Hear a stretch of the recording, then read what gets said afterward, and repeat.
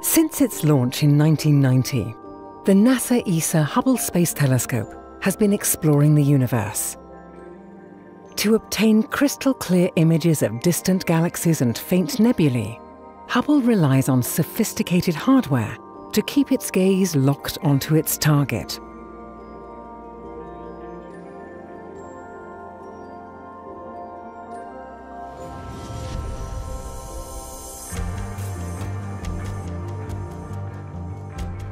From its vantage point above Earth's atmosphere, Hubble observes the universe 24 7.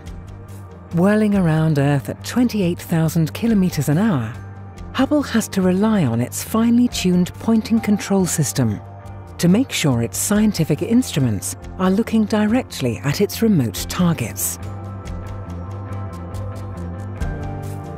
To ensure its gaze never falters, Hubble uses three fine guidance sensors located around the circumference of the telescope.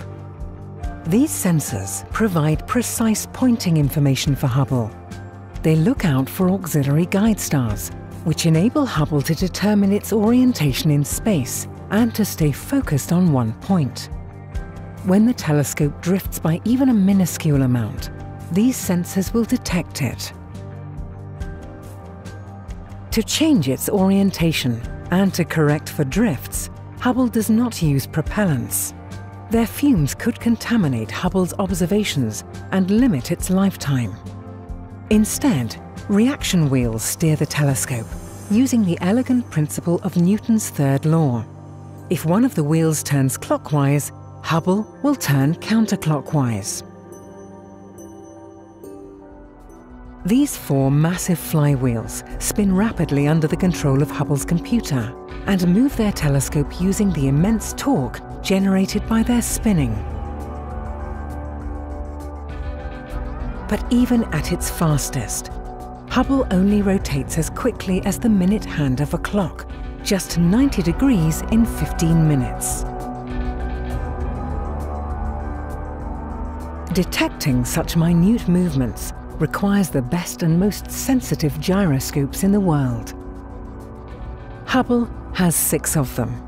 They constantly measure if and at what speed the telescope is turning. In combination with the fine guidance sensors, they keep the telescope precisely pointed for long periods, enabling Hubble to produce its spectacular views of the universe. To operate with optimal efficiency, Hubble needs three of its six gyroscopes. But even if just one was available, its scientific capabilities would not be affected in the slightest. Together, these three systems have allowed Hubble to perform its outstanding scientific mission over the last 28 years and many more new discoveries can be expected in the years to come.